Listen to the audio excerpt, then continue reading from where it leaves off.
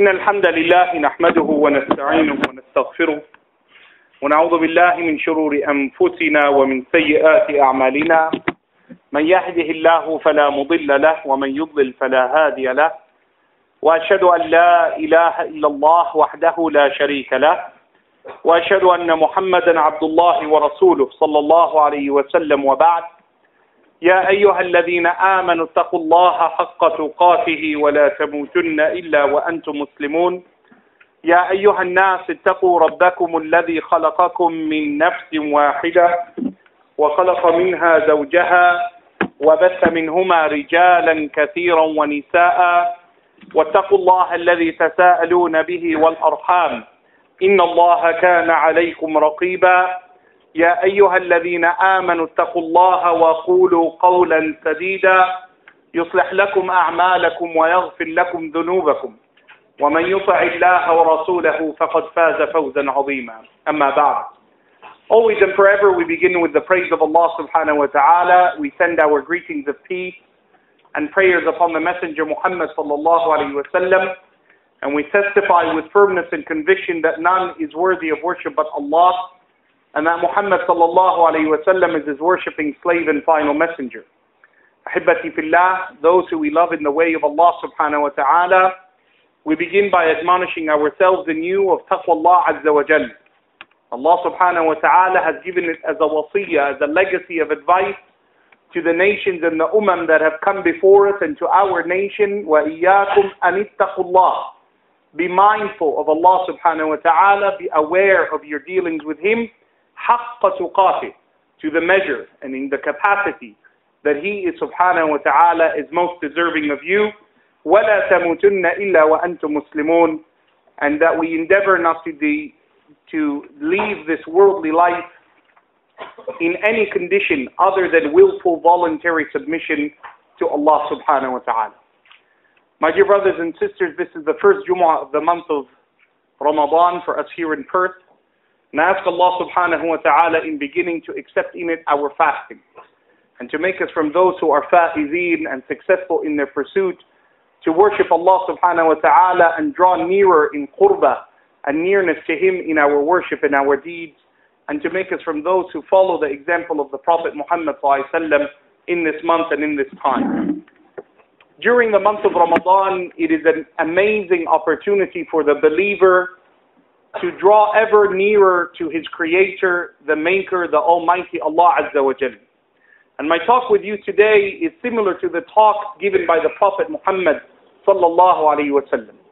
Because we are in need of the true and sure word of the Prophet sallallahu alaihi wasallam in momentous occasions and seasons of spirituality such as the month of Ramadan.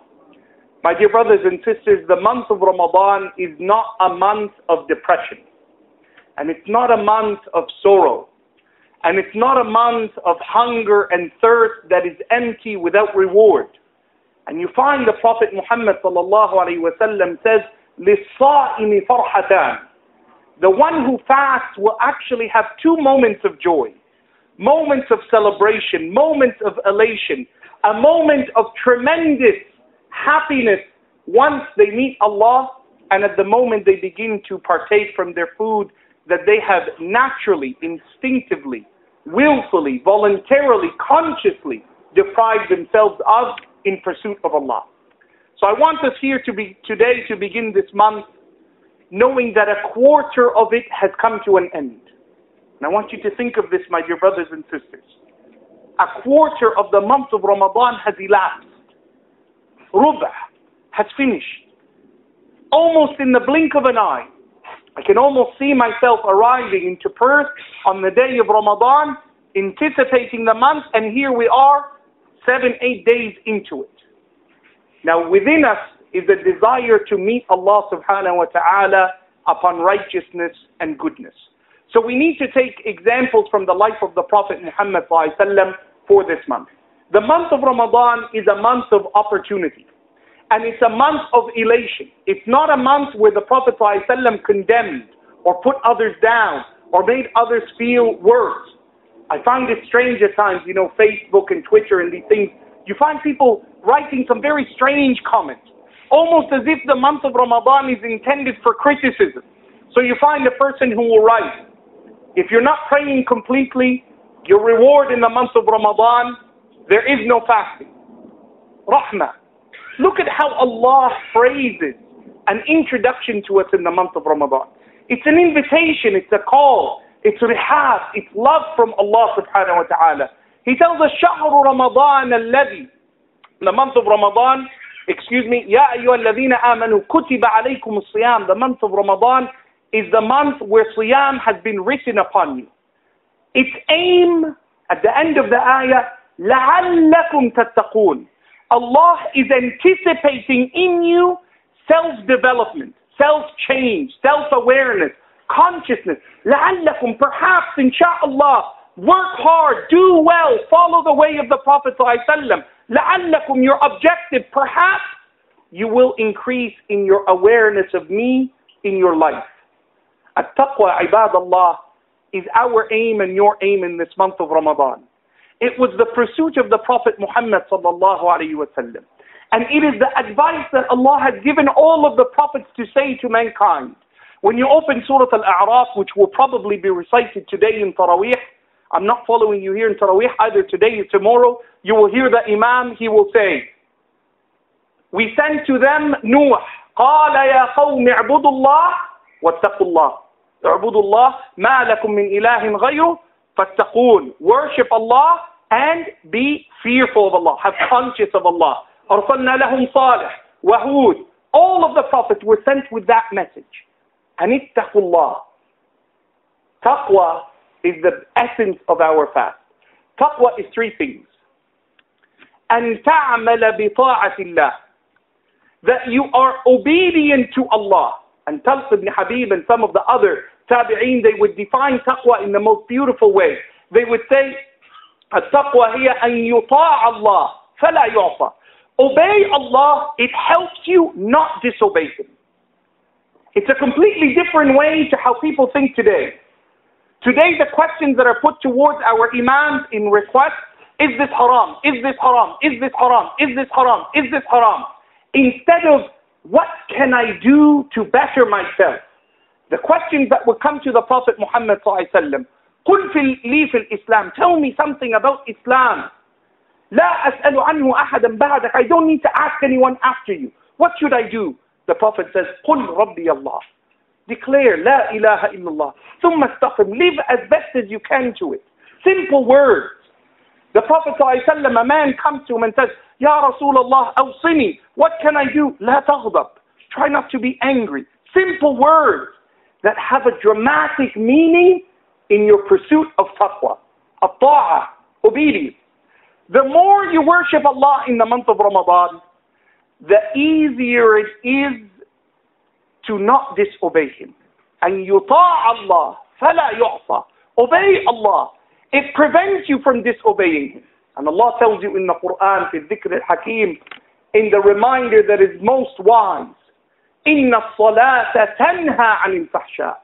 Salah bars you, prohibits you, keeps you, restricts you, imprisons you from al-fahsha, open, vulgar, prevalent sin, wal-munkar, and hidden sinful deeds between you and others.